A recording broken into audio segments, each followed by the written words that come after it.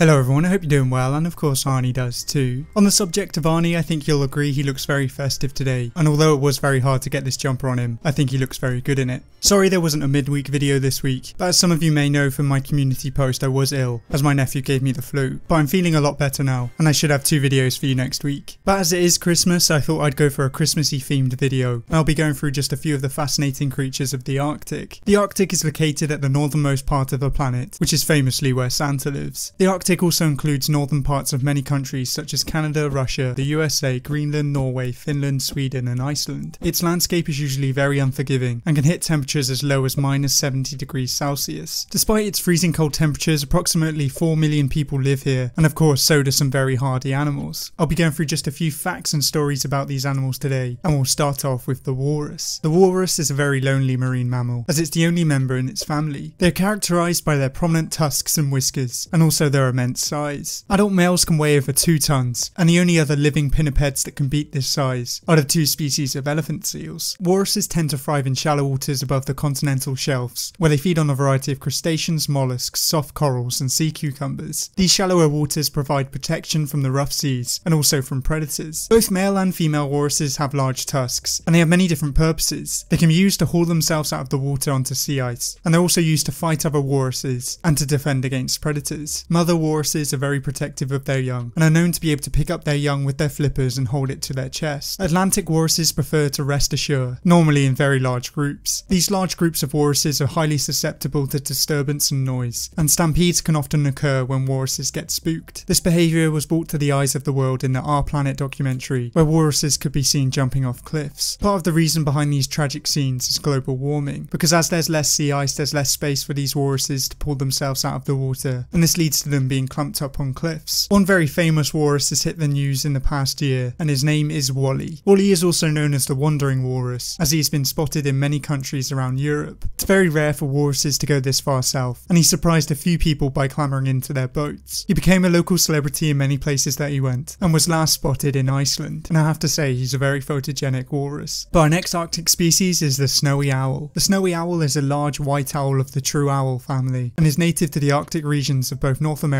Europe, and Russia. It is the only species of owl with a largely white plumage, and this helps it blend in with its cold, frigid home. The snowy owl's behaviour also makes it unique among owls, as most owls are nocturnal, but the snowy owl is often active during the day, especially in the summertime. Snowy owls generally feed on tundra-dwelling lemmings, as well as other small mammals and northerly water birds. As they need a lot of insulation from the Arctic temperatures, snowy owls have a lot of feathers, and these feathers contribute to it being one of the heaviest owl species in North America. They even have feathers on their feet, which makes them look like they're wearing feathery slippers. Snowy owls are known for being very aggressive in self-defense, and will even dive bomb other species if they get close to their nesting grounds. They're known to dive bomb humans, and even attack Arctic wolves if they get too close. One of the most famous snowy owls in the world has to be Hedwig. Although Hedwig was meant to be a female, the actors playing her in the movie were males, and one of the males playing Hedwig was also one of the very first cast members to be chosen. But some would call our next species the king of the Arctic, and it is the polar bear. The polar bear is a hypercarnivorous bear whose native range lies largely within the Arctic Circle. It is the largest extant species of bear, as well as the largest extant land carnivore. An adult male can weigh around 700 kilograms, which gives it enough power to take on a large number of marine mammals. Although most polar bears are born on land, they spend most of their time on the sea ice, where their diet primarily consists of ringed and bearded seals. Although we know polar bears are prolific hunters, they're not very efficient, as less than 2% of polar bear hunts are successful. In many cases, they are left to scavenge carcasses or settle for small mammals and birds. As I've covered in previous videos, although polar bears evolved from brown bears around 150,000 years ago, they are still able to interbreed to create pizzly bears. These pizzly bears can be found both in the wild and in captivity, and still fascinate people around the globe. But our next Arctic species is the reindeer. Now I couldn't do a Christmassy themed video without including the reindeer, but some people know this species as the caribou. In fact, the reindeer and the caribou are the same animal, but in Europe they're usually called reindeer, and in North America they're usually called caribou. The term reindeer is often used for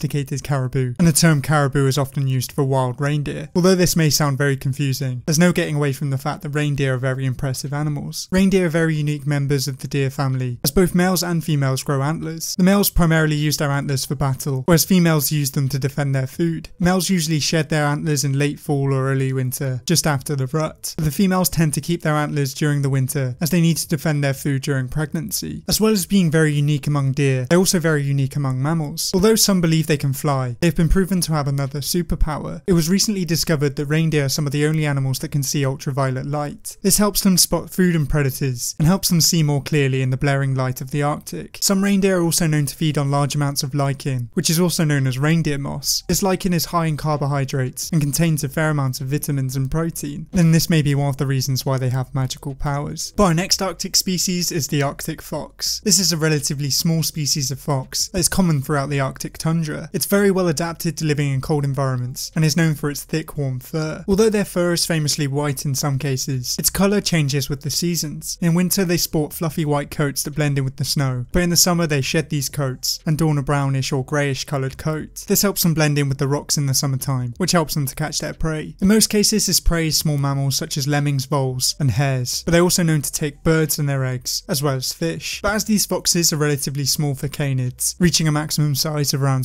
70 centimeters, they are targeted by many other predators, as golden eagles, arctic wolves, polar bears, wolverines, red foxes and grizzly bears are all known to target the arctic fox. But this tiny fox has to be one of the cutest species that can be found in the Arctic. But our next species is the very plump, bearded seal. The seal got its name because of its very abundant whiskers. When dry, these whiskers curl very elegantly and can look like a very well maintained beard. The bearded seal is the largest of the Arctic seals and can weigh as much as 300 kilograms. These seals tend to prefer shallow coastal areas where they feed on a variety of clams, squid and fish. Bearded seals are known for being very vocal and they can create sounds that can be heard up to 12 miles away and they also sing songs underwater to attract mates.